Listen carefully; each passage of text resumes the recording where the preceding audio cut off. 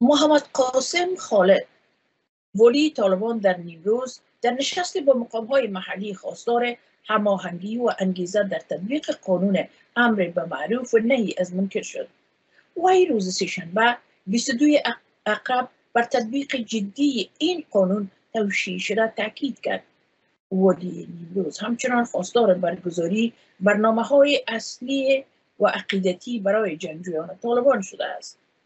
این نشست در ادامه جلسات هماهنگی مشابه در ولایت دیگر از جمله نشست اخیر در کاپیسا برگزار شد که مقام های محلی طالبان درباره تطبیق این قانون گفتگو کردند این قانون جدید که با انتقاد بین المللی روبرو شده است محدودیت های شدید را بر شهروندان و ویژه زنان وضع می.